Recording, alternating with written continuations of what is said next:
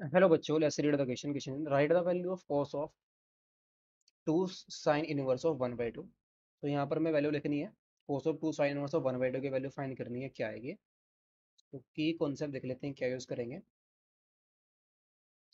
जो हमारा sign pi by six है ये वैल्यू क्या होती है वन बाई टू होती है and sine inverse of sine theta ये क्या आ जाएगा थीटा के इक्वल आ जाएगा इफ़ थीटा हमारा किसमें बिलोंग करे? पाई बाई टू से pi by minus pi pi by two के बीच में बिलोंग करे।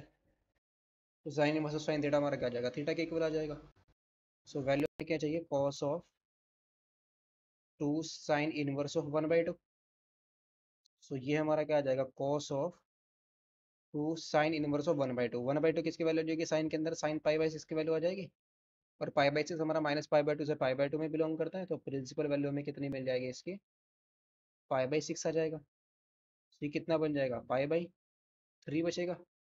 दैट इज़ ये बन गया हमारा cos pi by three. And cos pi by three की वैल्यू क्या होती है हमारी? वन बाई टू के इक्वल होती है।